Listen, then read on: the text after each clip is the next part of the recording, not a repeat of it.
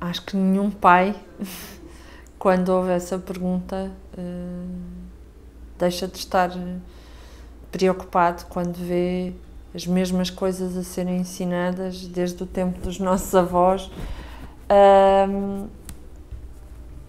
De facto, a reforma educativa é, é, é super urgente, mas a verdade é que também vejo os, os nossos filhos a serem entupidos com um volume de matéria e informação uh, que não, não nos acontecia na mesma altura. Eu, no quinto ano do meu filho, eu já não lhe sei ensinar matemática. Uh, e penso, mas a sério que eles já estão a dar eh, esta matéria? Portanto, a velocidade, eu nem, nem entendo como é que eles conseguem assimilar tanta coisa ao mesmo tempo, fora toda, todos os outros estímulos que existem à volta que nós não tínhamos. Um, portanto, tenho curiosidade sobre o, o, cérebro dos nossos filhos eh, versus o, o nosso cérebro, o que, o que isto tudo está a provocar. Enfim, eh, há uns anos atrás lia-se sobre a fragmentação do cérebro, o que é que estes tabs todos provocam.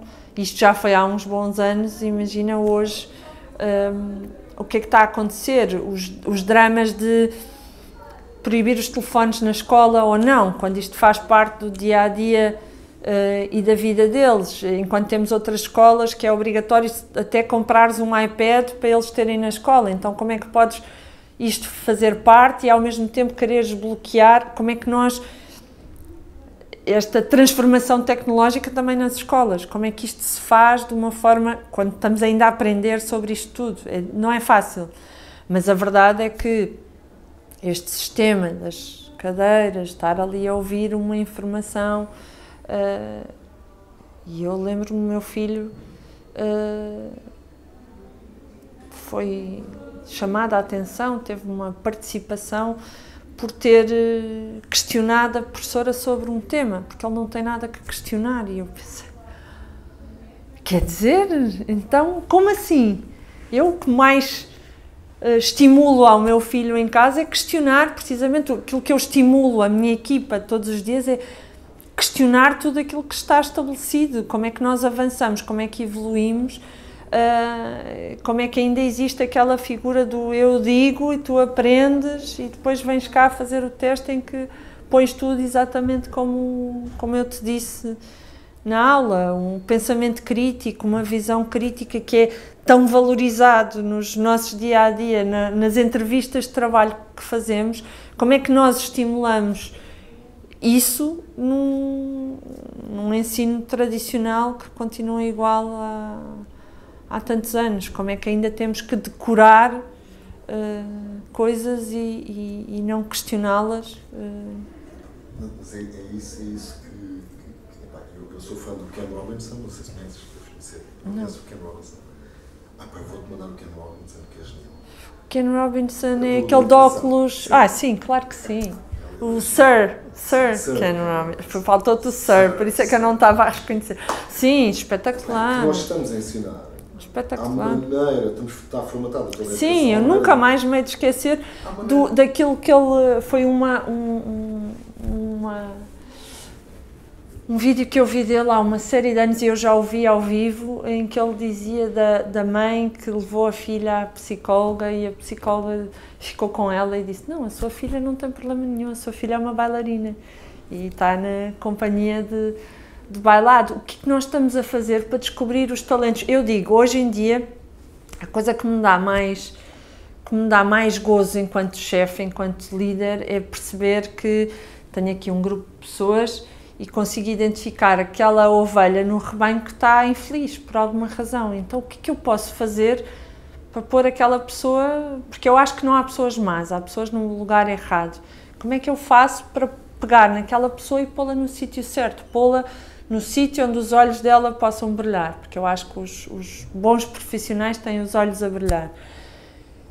E o dia em que isso acontece é tipo, é magia. Eu consigo identificar ao longo do meu percurso algumas pessoas com quem fiz, com quem fiz isso e essas pessoas e vê-las a brilhar hoje dá-me dá imenso gozo. É, como é que nós, no nosso sistema educativo, conseguimos orientar as pessoas, orientar os nossos miúdos, os nossos filhos, os nossos alunos, para que eles consigam encontrar o, o berço deles onde, eles onde eles vão brilhar. Como é que conseguimos fazer com que aquela menina descubra que quer ser bailarina quando, na maior parte das vezes, nem sequer damos tempo nenhum às, às áreas mais criativas, de liberdade de expressão, uh, estamos ali só a entupir as cabeças com matéria para decorar. O que é que nós estamos a fazer para que eles uh, consigam. E este é um tema que, que, que, não é de hoje, que me preocupa, mesmo antes de, de ter o Sebastião, é um tema que me preocupava e por isso é que eu gosto tanto de fazer uh, mentoria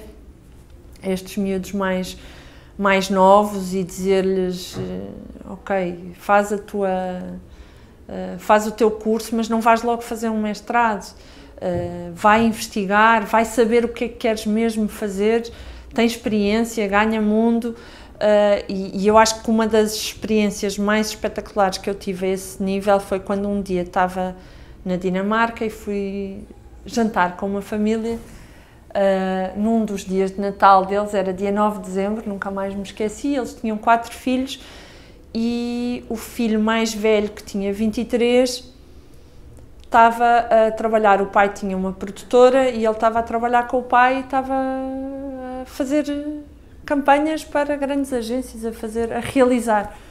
E eu pensei, bom, pronto, ok, está a seguir as pisadas do pai uh, e ainda não fez nenhum curso superior. E entretanto está a filha de 18 anos, porque eles saem todos cedo de casa, faz parte das, das normas instituídas na, na sociedade, saem todos cedo de casa. E ela a contar, pois, não, porque fui dividir casa com uma amiga e depois a decisão, fui trabalhar para o Subway, porque pelo menos aí já tinha parte da alimentação garantida e portanto não ia gastar tanto e não sei. Eu pensei, olha, que interessante, tão novinha.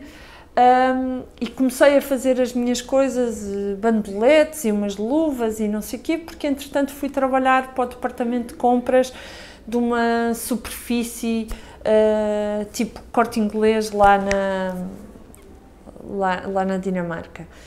E ela disse: Eu comecei a fazer as minhas coisas e depois perguntei se podia vender lá e eles deram uma oportunidade de eu vender.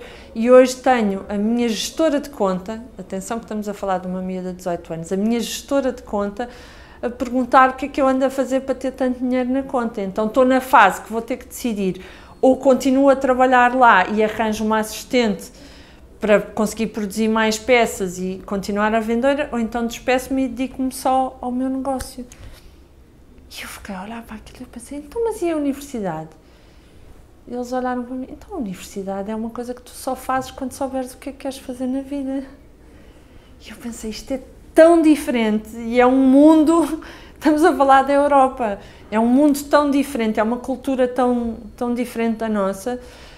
Um, e pronto, são só formas diferentes de, de fazer as coisas, mas é com a experiência e com a vida encontrarmos estas plataformas onde nos sentimos eh, realizados e, e felizes. Mas essa, essa, história do Sebastião é triste, porque todos os miúdos são curiosos e todos os miúdos querem saber, ou interrogam.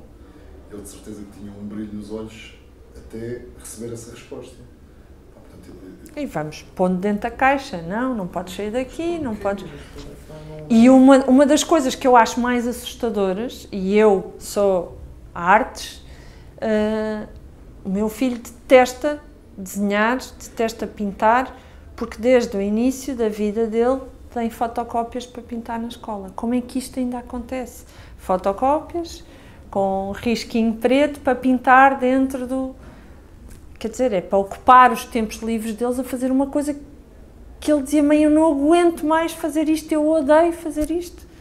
Eu penso: como é que é possível? Mas, no entanto, essa mesma criança que odeia pintar é dos melhores alunos de educação tecnológica em que fazem coisas manuais e estrelas e não sei o quê, porque já tem mais liberdade plástica de criar alguma coisa, então...